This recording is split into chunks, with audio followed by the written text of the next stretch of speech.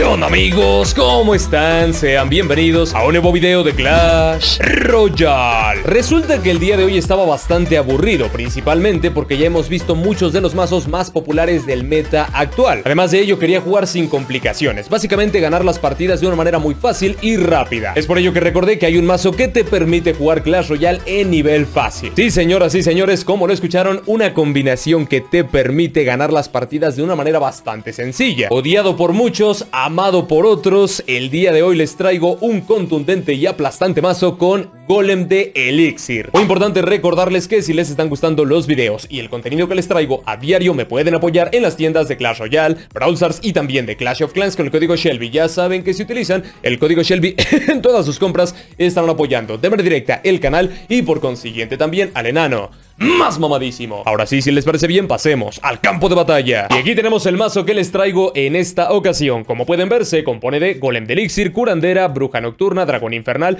Llevamos también el Dragón Eléctrico, las flechas, el Hechizo de Furia y por último el Espíritu Eléctrico. 3.3 es el coste medio de elixir de esta estrategia y como ya les había comentado, si ustedes quieren jugar Clash Royale en nivel fácil, este es el mazo que estaban buscando. Esta es la combinación que estaban esperando. Este es un mazo de antaño pero considero que es de esos mazos que nunca pasan de moda. Siempre que tengo algún conflicto, algún problema, que no encuentro alguna estrategia viable para recuperar mis copas, para salir del tilt, siempre recurro a esta vieja confiable, al golem de elixir, al pinche patricio, al chicle.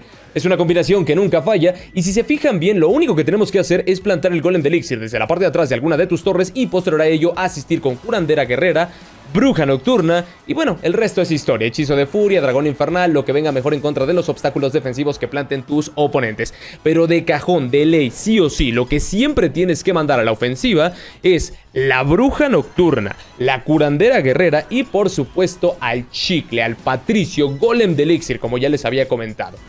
Eh, no tenemos que hacer mucho, no tenemos que pensarnos tanto las jugadas como para poder sacar buenas victorias. Técnicamente es eso, así de fácil, así de sencillo. Sí que es cierto que el mazo en algunos casos puede sufrir bastante, pero lo importante aquí es saber esperar, saber atacar en el momento más oportuno, en el momento en el que más convenga. Por ejemplo, aquí se fijan, yo voy en ventaja en Elixir. Sé que defendí de manera bastante económica los ataques de mi oponente, Bruja Nocturna por el lateral derecho y por el lateral izquierdo únicamente un espíritu eléctrico, con lo cual tengo la facilidad de atacar como puerca en tobogán. Me voy con toda la carne al asador por el lateral derecho, voy con Golem de Elixir de nueva cuenta, el combo que ya les habían mencionado en general, no hace falta volver a decirlo. Entonces se fijan aquí que el tipo se queda muy vulnerable defensivamente hablando, no tiene nada que hacer y pese a que está gastando eh, un chingo de cartas, pues digamos que esa es la ventaja que yo tengo, que gracias a que está gastando un montón de recursos defensivos, pues yo sigo aprovechando el elixir para cargarme un poquito, para recuperar la pérdida que acabo de tener gracias a la colocación de ese golem de elixir. Entonces,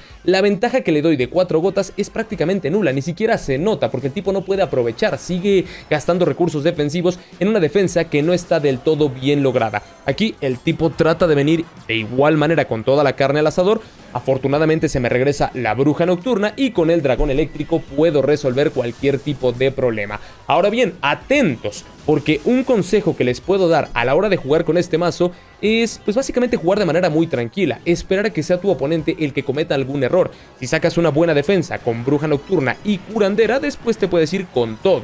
Así es como funciona el mazo, no hace falta que desde el primer momento plantes el golem de elixir y no es lo más recomendable en el meta actual y les explico el por qué. Si se fijan bien, hoy en día abundan muchos mazos con rayo, con gigante eléctrico, ejemplo, también con triple mosquetera. Entonces, si tú gastas de primeras el golem de elixir, vas a perder el enfrentamiento sí o sí. Lo más sabio en estos casos es ingeniártelas con las tropas de las cuales dispones. O sea, el golem de elixir pasarlo a segundo plano. Que sea esa carta que te permite acompañar el ataque, tanquear la curandera y la bruja nocturna, que son las cartas que hacen un poquito más de daño.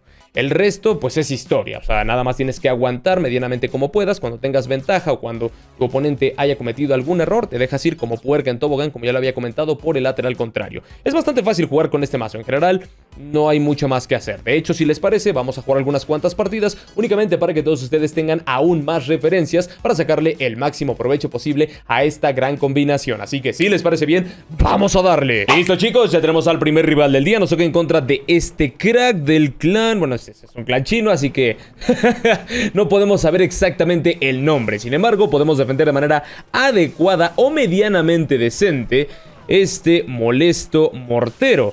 Ahora, veremos qué es lo que se viene porque el tipo tira esqueletos, ahí está, perfecto. Vamos a ir también con... Yo creo que una bruja nocturna es lo más sabio en estos casos porque si no el tipo me puede reventar. Entonces, listo. Un comienzo un poquito estrepitoso, dado que me tardé un poquito más presentando que jugando. Entonces se puede complicar ligeramente el enfrentamiento, no obstante considero que tengo muy buenas armas para responder al mazo de mi oponente, siempre y cuando no tenga algún rayo o algo por el estilo. Vamos aquí con Dragón Infernal, ¿por qué no? Respondemos fácilmente. Tirará Horda de esbirros. ¡Ay, güey! Yo bien confiado, ¿no? Sí, tirará Horda de esbirros. A ver, me preocupa muchísimo el rumbo de este enfrentamiento, básicamente por todas las armas que tiene mi oponente. No será una partida del todo sencilla pero considero que con un solo ataque bien hecho que yo le haga al tipo, lo reviento en un 2x3. Así que vamos a ello. Vamos con Golem de Elixir desde la parte de atrás de la Torre del Rey. El tipo ha gastado demasiado Elixir. Así que vamos. Vamos con el Golem, vamos con la curandera, vamos también con la Bruja Nocturna. No sé si sumar también un Dragón Infernal. Es que siento que el Dragón Infernal no ayuda tanto. El Dragón Eléctrico es clave, ese es el chido. Ese es el chido, así que vamos con doble golem de elixir. Ahí estamos, perfecto, bien, nos cargamos todo. Y es lo que les decía, un buen ataque bien hecho en el momento más oportuno, revienta en un 2x3, ¿eh? Todo aquello que se cruce en tu camino. La bola de fuego que es buena, no voy a decir que no. Es, es, es buenarda, es decente. Cuanto menos, ahora curandera de batalla aquí porque no quiero que me tumbe la torre, evidentemente no se la voy a regalar. Que le luche, que le luche, que le gaste la bola de fuego. Me gustaría que gaste la bola de fuego por ese lateral. Así que por acá vamos a hacer esto. Vientos. Perfecto, defendemos más o menos, ¿eh? Tampoco ha sido la mejor defensa del universo, pero no estuvo mal. Ahora, aquí la horda de esbirros, si no me equivoco, creo que morirá en breves, a menos que me haga un chingo de daño. Y vamos a reservar las flechas. ¿Ustedes qué opinan? Yo creo que reservarse las flechas es fundamental. Ahí estamos, perfecto, bien. Aquí creo que el tipo la regó considerablemente, ¿eh? Hermano, hermano, creo que la acabas de cagar, como diríamos en mi pueblo. a ver, perfecto, perfecto. La furia que es bastante buena. Nos vamos aquí con las flechas. Ahora sí que sí, vale la pena utilizarlas. El tipo no sabe qué hacer. Le podemos sacar tres coronas muy fácilmente. Vámonos, vámonos, vámonos, Ricky, vámonos, Ricky. Por favor, vámonos, Ricky Tix. Vámonos, Ricky Tix. Los murciélagos, ojo a los murciélagos, ojo a los murciélagos. No, no, no, no, no, no. Cuídense, cuídense, cuídense. Atentos, atentos porque se puede venir, se puede venir una buena, ¿eh? Una buena. Me puede reventar. Me puede reventar. En cualquier momento este tipo me revienta. La bola de fuego es malísima. Pero ahora necesito prevenirme con algo. Vientos. Hay que esperar, hay que esperar. Igual nada más necesito flechas. Flechas. No me he fijado la torre. No me he fijado la torre. No me he fijado la torre. ¡Vámonos! Eso es todo. Oigan, ¿por qué no me avisan, cabrones? No me avisan que la torre está a 69 puntos de vida. Tiro de flechas y listo. Bailecito chingón, bailecito perrón, bailecito del mini PK. Mamadísimo. Qué buena victoria, cracks. Muy buena, muy buena. Cardíaca. Y debo decir que, hombre, hay que estar un poco más atentos en los enfrentamientos, ¿no? Porque aquí me pasé un poquito de meco. O sea, no me fijé que la torre de la derecha se queda a tiro de hechizos. Y por poquito y se me escapa el enfrentamiento, ¿eh? Nada más era cuestión de rotar. Pero me aferré. Pude haber ganado desde antes.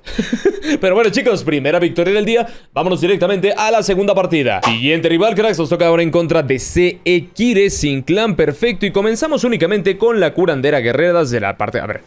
Siguiente rival, cracks. Nos toca ahora en contra de CE Kire de... A ver. Siguiente rival, cracks, nos toca ahora en contra de CE Kire, sin clan, perfecto, y comenzamos tranquilitos y relajados con el dragón eléctrico y la curandera guerrera. Pero vamos bien, no hay nada de qué preocuparse, considero yo. Ahora por acá pues responderemos de manera adecuada con la bruja nocturna y listo. Ahí se aniquilan los dos dragones.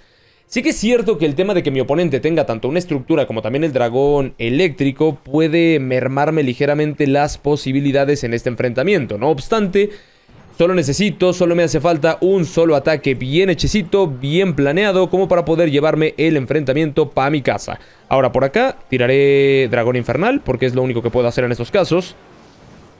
Me va a responder como debe de ser. Entonces, vamos a ver qué podemos hacer aquí. Yo creo que una bruja nocturna, digo, porque si vamos a ir al intercambio de torre por torre, creo que me sale un poco más rentable a mí esperar el momento propicio para tirar las flechas por acá. Ahí estamos. Y ahora vamos con hechizo de furia.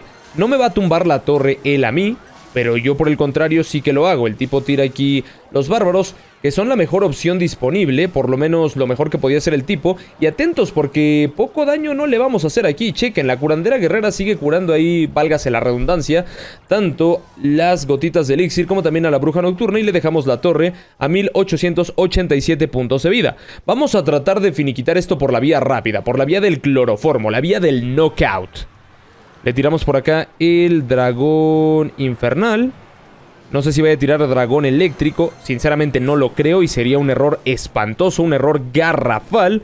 Nos vamos de nueva cuenta con la curandera de batalla.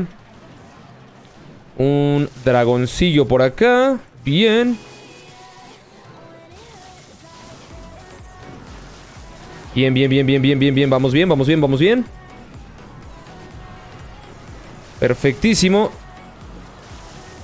Perfecto, perfecto, sublime, excelso, vamos perfectos chicos, vamos perfectos. Otro golem de Elixir que se suma a la ofensiva. Y yo les dije que esto es prácticamente jugar Clash Royale en nivel fácil. En nivel extremadamente fácil. Para principiantes es este mazo, eh Idóneo, perfecto, como ya lo había comentado, sublime. De las mejores estrategias para subir copas sin necesidad de esforzarse. Dos victorias eh, la otra la saqué también con tres coronas.